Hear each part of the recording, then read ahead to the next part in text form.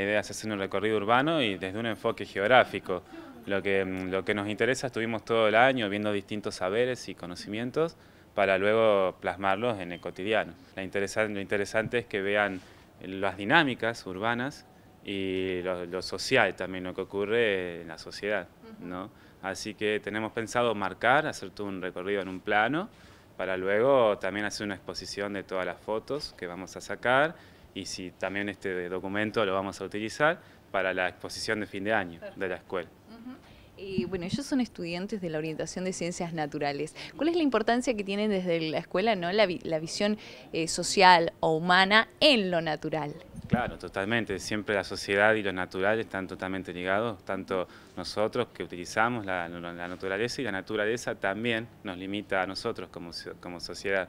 Por eso es interesante recorrer barrios que vamos a recorrer y distintos asentamientos para que veamos las problemáticas que surgen de lo ambiental eh, con, lo social y también cómo lo social se, busca espacio para ocupar lo natural. Por eso la, visita a la cooperativa también, que es interesante eh, que nos muestren cómo son utilizados estos servicios y recursos. Eh, ¿Alguna vez habías visitado un canal? ¿Te sorprendió cómo es un canal de televisión? Eh, no, nunca había visitado y sí, me sorprendió, me gustó un montón.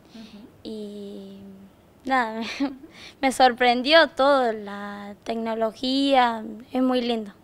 ¿Sabías o te imaginabas cómo se hacía, no sé, un programa de televisión?